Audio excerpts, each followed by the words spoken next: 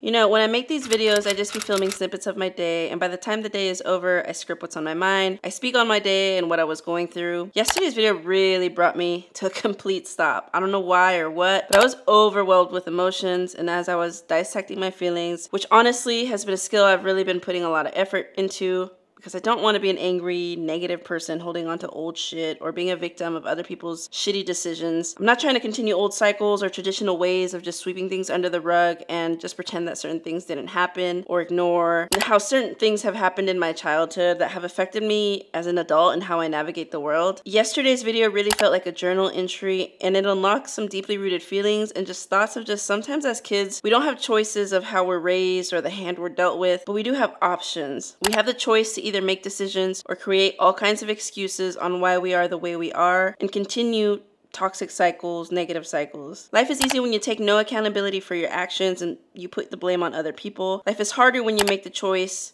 to take the harder route and dig deep and do the work on yourself. Ultimately, the easier route becomes a toxic cycle you will continue and repeat over and over, and nothing good will ever come of that. The harder route builds momentum for healthier generations to exist, and ultimately, make the world a better and safer place for all of us to exist in. And it starts with making a decision or creating an excuse.